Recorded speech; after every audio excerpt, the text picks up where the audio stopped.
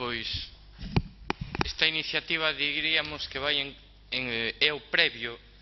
eh, a esa outra iniciativa que falábamos eh, xusto antes, porque precisamente a vulneración de dereitos civis nos espazos públicos está conlevando a que eh, mesmo as persoas se vexan privadas de liberdade eh, por exercer o seu dereito a reivindicación, o seu dereito a manifestación, o seu dereito a folga, o dereito á reunión, etc. Todos principios que foron eh, vulnerados ou atacados, digamos, mellor atacados, coas normas de que nos chamamos Lei Mordaza, eh, a Lei 4 2015 30 de marzo, a Lei eh, 560 barra 2014 o 4 de abril, respectivamente, de Seguridade Privada, a Lei Orgánica que contrarreforma o Código Penal, ou recentemente a lei de enxuizamento criminal, é dicir, eh, non hai eh, prácticamente ninguna norma que non se fixera últimamente a nivel de Estado que non ataque eh, precisamente a reclamación e a defensa de dereitos civis nos espazos públicos. E, polo tanto, estánse producindo eh, e estos son feitos constatados a través de informes diferentes informes de ONGs, desas ONGs que o millor molestan eh, no Partido Popular, que eh, alertan de identificacións arbitrarias nos espazos públicos, eh, de que cando hai unha manifestación, pois inmediatamente a persoa organizadora, pois moitas veces é sancionada de forma eh, inmediata, sancións que son importantes desde o punto de vista económico, porque agora todo é administrativamente, non? desde o punto de vista administrativo e hai que ir a un suizo. Eh, estáse producindo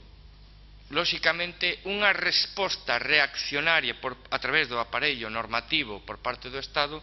a unha situación de lóxica conflictividade social derivada eh, da crise, dos recortes desde o 2008 eh, até hoxe, non? é dicir, e o que se pretendeu e por momentos ou ás veces hasta parece que o consiguen é precisamente aplacar eh, esa conflictividade social que o único que é simplemente é reclamar dereitos dereitos de cidadanía que son vulnerados sistemáticamente. Galicia é a terceira comunidade do Estado en expedientes de sanción no anos 2012 e 2013 eh, eran 110 expedientes. Pero como sabemos perfectamente que o Partido Popular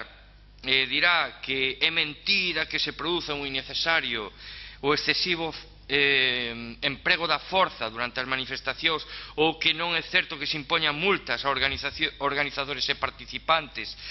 eh, pois eh, rec, simplemente voume permitir ler eh, un informe que presentou Carlos Hugo Preciado Domenech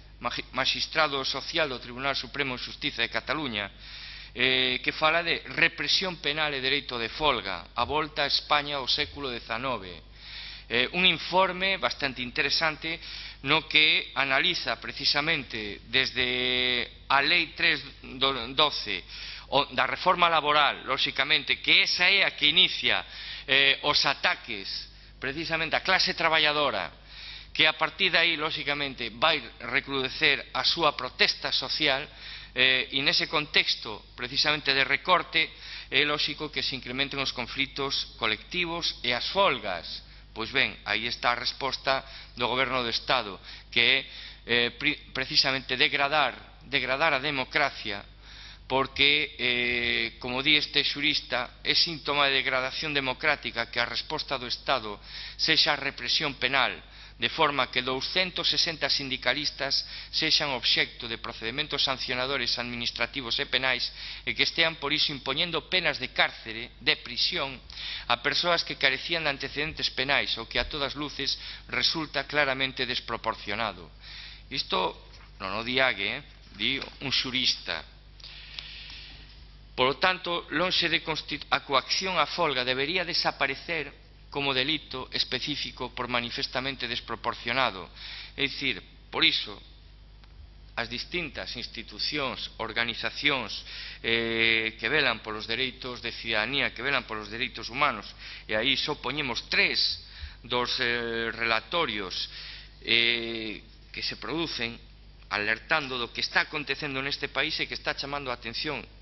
nos órganos dedicados a velar polos dereitos eh, cidadáns e dereitos humanos tanto da ONU como de Europa, eh, pois realizamos tres eh, propostas. A primeira, instar a Xunta a que se dirixa ao Goberno Central para derrogar a Lei 4 de 2015 de 30 de marzo. É dicir, eu quero lembrar que eh, por asistir a desafiuzamentos ou por impedir desafiuzamentos de forma solidaria unha persoa como Nicanor Acosta, un activista da Coruña de máis de 70 anos, tivose que ver durante dous anos eh, sinalado, tivo que Mm, padecer ata que se celebrou o suizo e que o declarou eh, libre de culpa. Pero durante dous anos tivo verdadeiros atrancos incluso coa súa pensión. Por tanto está claro que aquí se está producindo un ataque sen precedentes aos dereitos democráticos de protesta pacífica. Ollo, estamos protestando pacíficamente axudando a unha persoa que era maior a que non perdera a súa vivenda. Eh, no segundo punto pedimos instar a Xunta a que demande ao Goberno Central a que se derrogue o artigo 315.3 do Código Penal e que é precisamente o que eh, criminaliza o exercicio do dereito á folga. Dicir, eh, sabemos, esa é outra forma que tivo o Goberno do Estado de reprimir precisamente as convocatorias de folgas xerais. É dicir, porque cando directamente se nos ataca na economía se nos ataca nos dereitos de liberdade, pois lóxicamente estáse facendo unha tarefa represora e eh, unha tarefa de, de, de inhibir eh, a loita social polo, e a loita, ademais, colectiva por un dereito fundamental como é o dereito á folga. E finalmente, como nós non somos sabios, non queremos pretender selo, simplemente somos voceiros de causas e voceiros de, incluso de recomendacións que se fan, Eh, no punto 3 instamos a Xunta a que formule o Estado, o Goberno do Estado,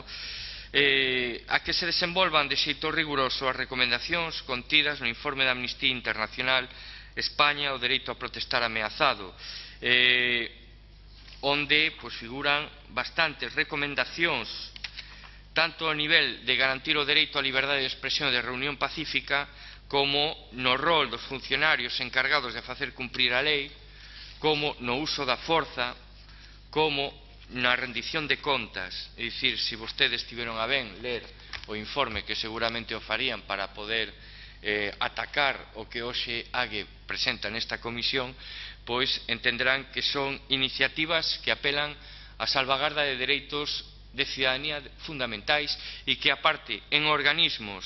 eh, como a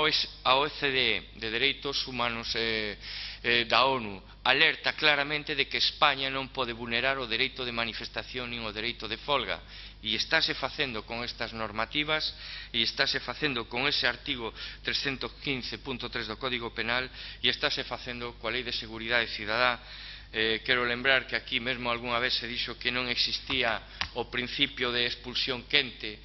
a señora Prado dixera iso, de que non se producía ese factor cando sí que se está producindo non? de forma eh, sistemáticamente o principio de devolución en quente. É dicir, eh, por lo tanto, non teño nada máis que dicir, agardo o apoio de todos os grupos, incluído o Partido Popular, eh, sabendo o difícil que será. Non perda vostede a fe como parlamentario que todo é posible nesta Cámara.